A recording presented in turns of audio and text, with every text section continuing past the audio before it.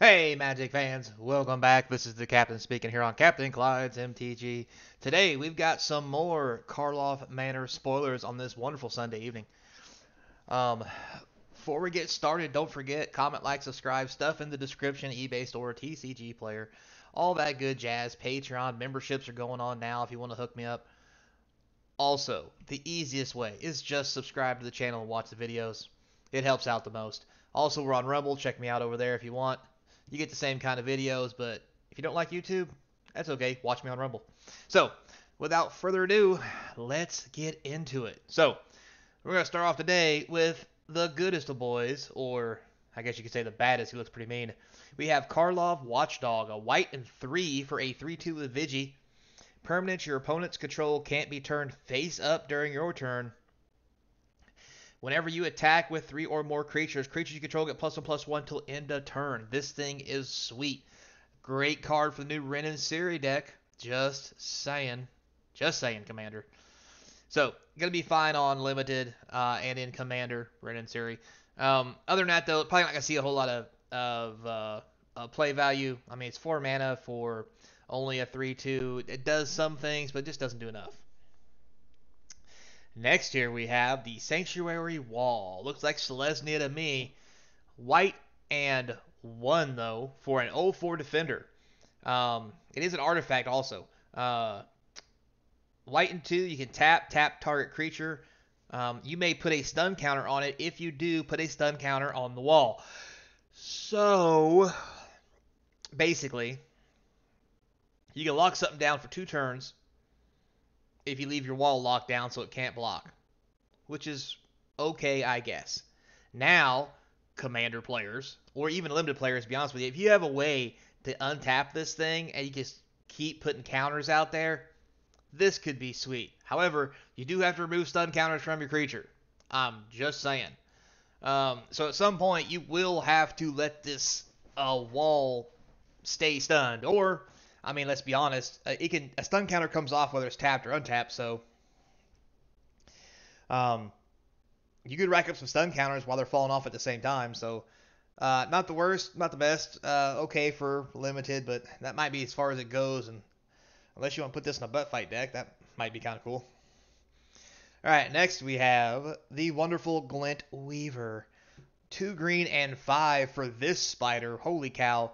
3 3, of course it has reach. It's a spider. Why would it not have reach? Anyway, uh, when it enters the battlefield, distribute 3 plus 1 plus 1 counters among 1, 2, or 3 target creatures. Then you gain life equal to the greatest toughness among creatures you control. Um, I mean, at best, it's a 6 6 with reach for 7. I mean, the, the counters can go other places, and that's fine, but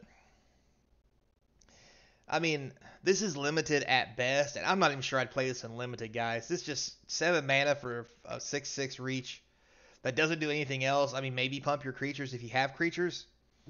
Just doesn't seem it's gonna do anything. I mean, maybe there's a, a spider commander deck that might want to play this. Tell me in the comments if you guys know one, but um, it just costs too much, doesn't do enough. I just don't see us getting a lot of play anywhere. Now we have the urgent necropsy. Necropsy? Ne- necropsy? I think I said right the first time. Anyway, black, green, and two for this instant. Additional cost to casting a spell. Collect evidence X, where X is the total mana value of the permanents this spell targets. Notice it says permanents, plural, because it says destroy up to one target artifact, up to one target creature, up to a target enchantment, and up to one target planeswalker. Thank God this damn thing doesn't target a land. Oh my God, this would be so annoying. Um, this card looks amazing. Um, however, the whole evidence part of the problem um, may make this card hard to play. Now, I mean, you can play it and target one thing for four mana, but let's be honest here. If I'm paying four mana and of two colors, plus getting stuff out of my graveyard, I want at least a two for one. And this will probably give it to you, uh, but it can be a dead card early game, so I'm not sure how much play it's going to see in standard. I'm sure it'll probably be okay. Uh, this is definitely a limited all star because, well, it's removal and it can kill multiple things. Um, now, Commander, Commander. Oh, let me tell you a story. This, this right here, this is going to be something special. Because, uh, you know, yeah, because evidence is mana value of what you exile out of your graveyard. You could put some very high casting cost stuff in your graveyard to evidence it out and just do damage with this thing. Oh my god, damage. Um, also, if you cast it once and somebody copies it or you copy it, oh boy, game on. I think it's going to be pretty sweet for Commander, but probably going to be the only place it sees any play. Just, uh, that's just my opinion, though. What do I know? Not a whole lot. So, next we have the Deadly Cover Up. Two black and three for this sorcery. Uh, as additional cost of this spell, you may collect evidence 6. Ugh, here we go again. So, destroy all creatures. If evidence was collected, exile a card from your opponent's graveyard, then search your owner's graveyard, hand, and library for any number of cards with the same name as the card exiled. and exile them, sorry. That player shuffles and draws a card for each card exiled from their hand this way. This is pretty sweet, I'm not going to lie.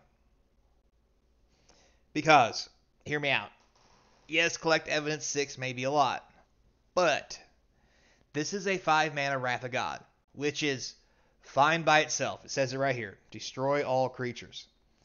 Then, if the evidence was paid, you get to exile a card from your from your opponent's graveyard and remove that card from their hand, library, graveyard.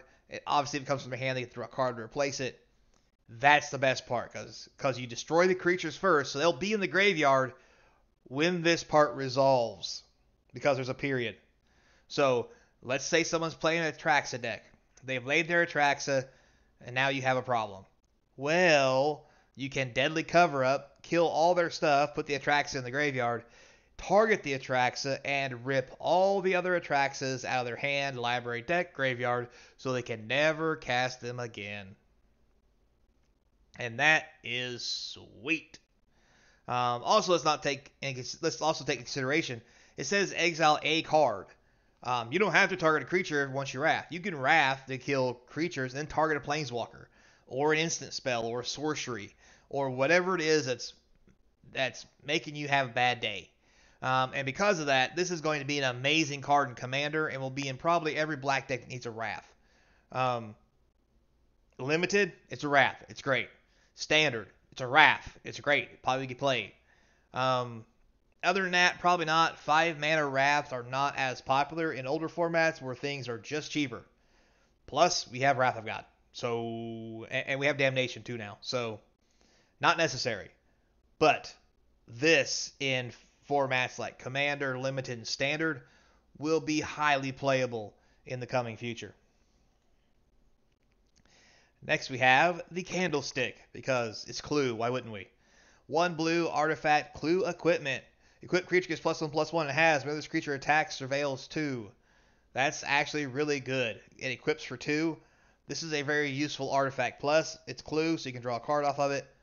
Um, yeah, great for limited. This is the kind of thing you want to see. I mean, if you don't have creatures, you can draw cards, which is always great.